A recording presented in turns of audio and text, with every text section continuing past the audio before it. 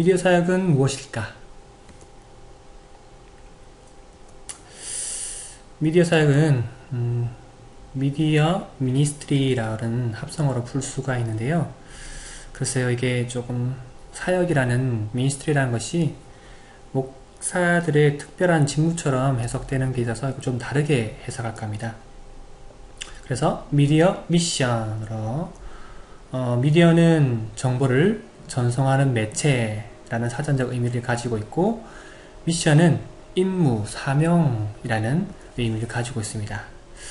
이걸 좀 더 간단하게 생각한다면 미디어는 정보를 전송하는 매체로서 재생할 의미하고요. 사역은 음, 복음적 사명을 의미합니다. 다시 말해서 미디어를 통해서 복음을 전하는 것이죠. 미디어를 통해서 메시지를 전달하는 것입니다.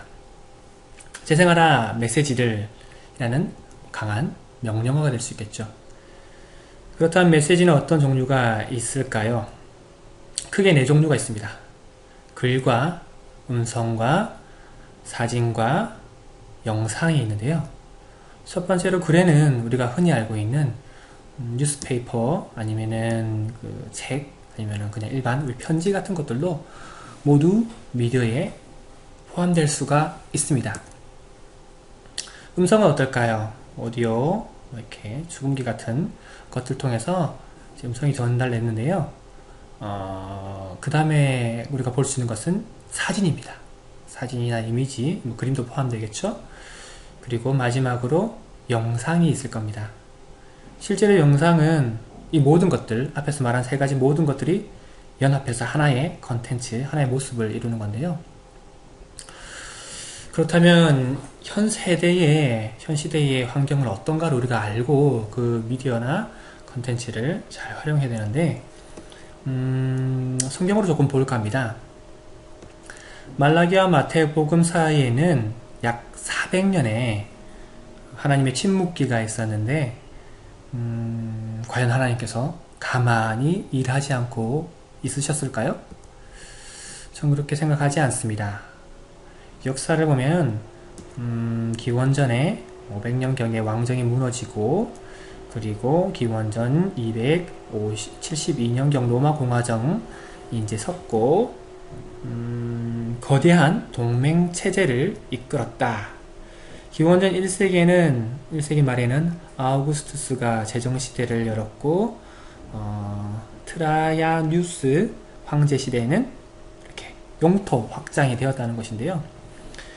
어, 5세기경에는 소로마 제국이 몰락하고 게르만족의 여러 독립국가가 갈라지게 되었는데요. 그때 나타나는 것이 로마의 어, 평정입니다. 어, 모든 길은 로마로 통한다는 말이 있죠. 거기서 볼 수 있듯이 모든 길이 대로가 어, 유럽에 있는 모든 대로가 로마로 연결된 걸 볼 수가 있습니다.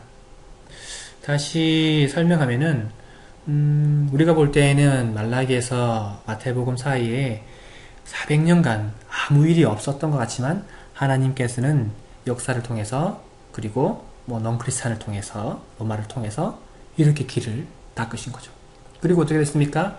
세례 요한과 그리고 예수님께서 오시면서 예수님의 복음이 이 길 위로 뿌려졌던 것이죠. 길 위로. 뭔가 이게 이 길을 보니까 적색 길을 보니까 떠오르는 게 없으신가요? 뭔가 네트워크와 관련되어 있어 보이지 않습니까? 이 길을 통해서 굿뉴스가 복음이 흘러갔는데 지금 이 시대는 어떻습니까? 더 복잡하게 길이 나 있습니다. 이 길은 물론 우리 눈에 보이지 않는 어, 가상의 길이라고 해야 되나요? 이 그림은 페이스북이 통신되는 네트워크 되는 것을 선형으로 나타낸 것인데 이렇게 밝은 곳이 많은 트래픽이 있는 곳입니다. 와, 신기하지 않습니까? 예전에는 우리가 길을 위해서 길을 위로 걸어가서 복음을 메시지를 전했지만 이제는 그럴 필요가 없죠. 가상의 길이 있으니까 네트워크를 통해서 가능하게 된 것입니다. 어, 정보의 바다라는 모티브를 잡고 인터넷을 생각했습니다. 우리는 앞에서 봤던 복잡다단한 네트워크 환경을 정보의 바다라고 생각합니다. 네트워크를 통해서 전달되는 메시지들을 우리는 정보라고 표현하기 때문이죠. 정보의 바다, 바다. 바다는 어떻게 이루어집니까? 반사는 이렇게 냇물로 시작해서 강이 만나고 강이 이렇게 다시 바다로 생기게 됩니다. 이렇게 바다로. 어, 물이 컨텐츠라고 가정할 때에 가정할 때에 냇물이 샘솟는 매물은 깨끗한 물일 것이고 그 외에 공장, 오수, 폐수 이런 것들이 바다로 같이 들어가고 흘러가고 그것들이 섞여서 자정되고 3%의 소금이 그것들을 썩지 않게 지켜주기도 하고 그걸로 부족할 때는 하나님께서 태풍을 주시죠. 그래서 쓰레기를 밖으로 보내시는 놀라운 기적이 있는데요.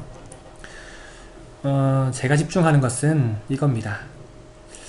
물이 있는데 컨텐츠가 고여서 바다로 흘러가지 않는 것들이죠. 물론 그 컨텐츠는 그 물은 그곳에서 역할이 있긴 할 겁니다. 저수지가 그 역할을 하다시 말이요. 하지만 정보의 바다에서는 더 이상 그곳에만 묶어 놓을 필요 없고 같이 흘러가야 됩니다. 한 방울 잉크가 떨어졌을 때 확산되는 것처럼 하나의 메시지와 복음은 이와 같이 영향력을 널리 끼쳐야 될 수, 끼쳐야 되는 것이, 끼쳐야겠죠? 그렇다면 우리는 미디어를 얼마나 알고 어떻게 사용하고 있습니까? 미디어의 변화를 보려고 하는데요.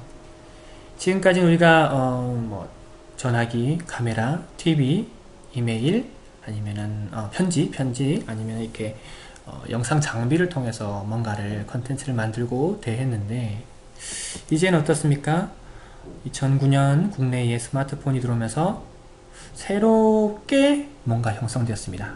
그것들은 자세히 보면 스마트폰 안에서 메모를 할 수 있고 어, 글을 쓸 수도 있으며 주소록도 관리하고 어, 지도도 사용할 수 있고 구입하고 그리고 결제도 하고요. 영상도 보고 유튜브를 통해서 영상을 올리고 볼 수가 있고 구글을 통해서 검색도 할 수 있고 페이스북과 뭐 스카이프와 어, 뭐 RSS 등을 통해서 그러니까 너무도 많은 하나의 단말기에서 너무도 많은 것들을 할수 있는데 이것을 우리는 흔히 뉴미디어라고 할 수 있습니다. 어, 패러다임이 바뀐 거죠. 하드웨어적인 어떤 장치에서 이제 소프트웨어로 넘어갔다는 겁니다.